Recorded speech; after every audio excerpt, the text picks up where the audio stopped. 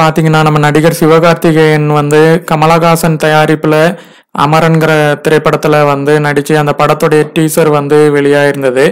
இதில் வந்து முகுந்து வரதராஜன் என்ற இராணுவ அதிகாரியோடைய வாழ்க்கை இதை வந்து கதாபாத்திரமாக எடுத்து நடிக்கிறாங்க. காஷ்மீரில் உள்ள தீவிரவாதிகளுடன் சண்டையில் வீரமரணம் அடைந்த நாற்பத்தி நாலு ரா வயதான ராஷ்ட்ரிய இது வந்து மேஜர் முகுந்த் வரதராஜின் வாழ்க்கையை தான் அவங்க வரலாறாக இந்த படத்தில் வந்து கொண்டு வந்திருக்கிறாங்க. இந்நிலையில் அமரன் ப படத்தில் வந்து காஷ்மீர் முஸ்லிம்களை வந்து தீவிரவாதிகளாக காட்டியிருப்பதாக கூறி சில அமைப்புகள் வந்து போராட்டம் நடத்த இப்போவே தொடங்கிட்டாங்க.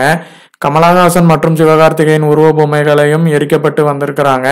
ஏற்கனவே கமல் படத்துடைய விஸ்வரூபம் படத்துக்கும் சர்ச்சையில் சிக்கி அதுக்கப்புறம் தான் வெளியாச்சு சில வ- வசனங்களையும் ரிமூவ் பண்ண பிறகு. அதே மாதிரி படத்துடைய இய- இயக்குனரையும் வந்து கண்டிச்சு வந்து இது பண்ணாங்க. அதே மாதிரி பார்த்தீங்கன்னா சிவகார்த்திகேயன் கமலஹாசன் உருவ பொம்மைங்களையும் எரிக்கிறதுக்கு வந்து போயிட்டாங்க. இதனால வந்து பார்த்தீங்கன்னா போலீஸ் வந்து அதுக்கப்புறம் அதை தடுத்து நிறுத்தி இது பண்ணியிருக்கிறாங்க. இப்போவே வந்து பரபரப்பான இது வந்து அமரன் படத்துக்கு வந்திருக்கு. இன்னும் ரிலீஸ் ஆகிறதுக்கு முன்னாடி என்னென்ன பிரச்சனைகள் வரப்போகுதுங்கிறத நம்ம வெயிட் பண்ணி பார்க்கலாம். மேலும் தமிழ் சினிமா பற்றி தெரிஞ்சுக்கணும்னா நம்ம சேனலை சப்ஸ்கிரைப் பண்ணுங்கள் தேங்க்யூ